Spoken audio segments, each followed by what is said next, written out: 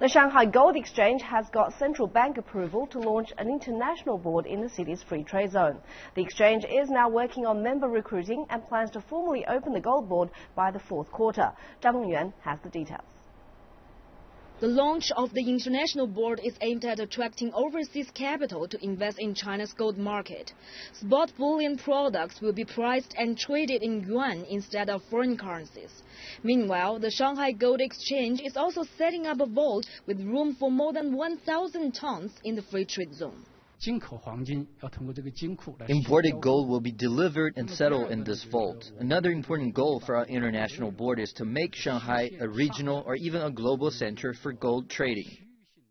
World Gold Council data shows that last year China had demand for more than 1,060 tons of gold and became the world's largest gold market. With the launch of the Gold International Board, Shanghai may become the third largest gold trading center behind London and New York.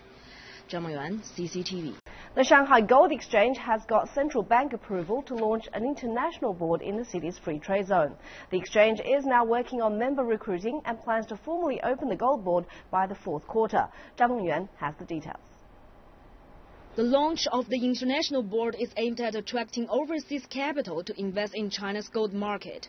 Spot bullion products will be priced and traded in yuan instead of foreign currencies.